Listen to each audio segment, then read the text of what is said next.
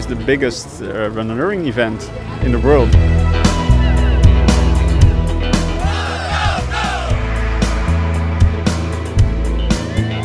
Bikes is, is my life. Paris-Brest, das muss man einmal als, als Radfahrer gemacht haben. Alles andere zählt irgendwie nicht. On a des contacts très très faciles avec euh, des Japonais, des Brésiliens, des Canadiens. I'm from Belgium. From Japan. Germany, Weibling. I'm from Philippines. I come from Elgin in the north of Scotland.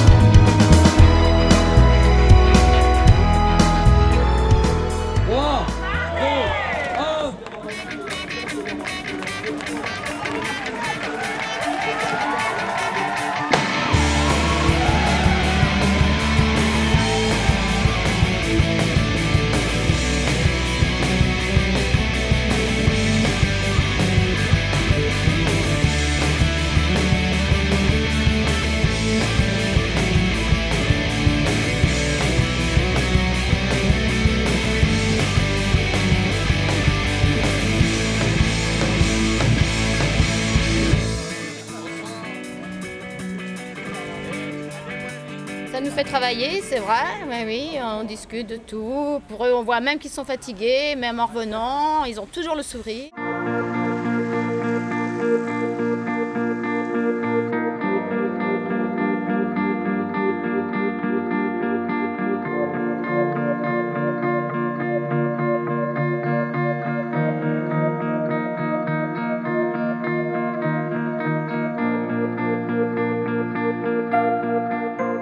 Je regarde tout le temps ça. Hein.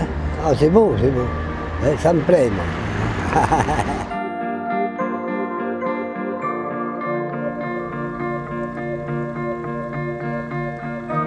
Ça m'intéresse, je passe, fait trois jours que je passe à regarder ce qui se passe.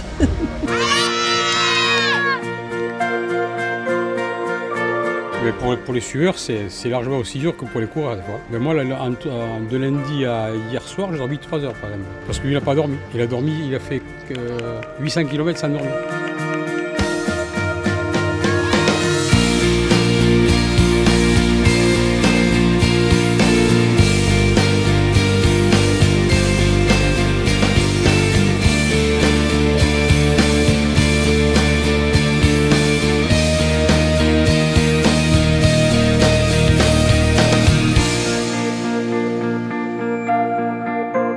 Feel a little bit tired, which, which is normal because we know beforehand that it's a hard thing to do, and so I'm, I'm happy. It's a very, very hard race. Very, very hard race. Mm, very difficult.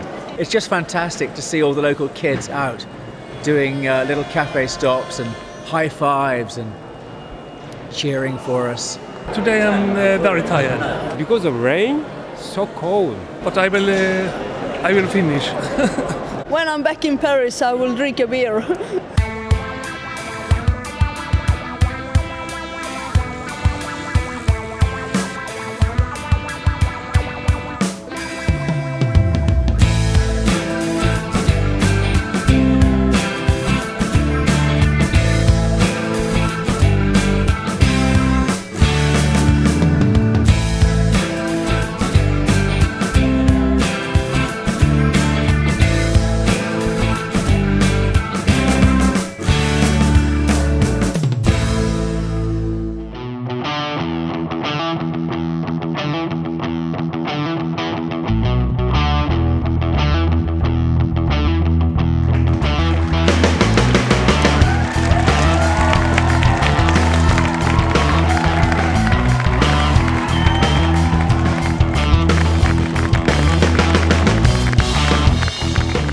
After 1,230 Ks, I'm finally back in Paris, and it feels just really, really great that I will be able to take a shower now, which I've been waiting since Brest. I helped someone. He was fallen. Yeah, and, and that cost me an hour.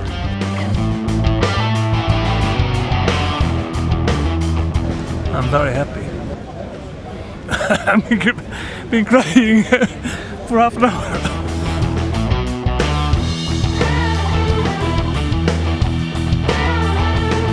Just looking at all the people now, everybody has a shared sense of achievement uh, as to what they've done, um, which will live with you for a lot for your lifetime.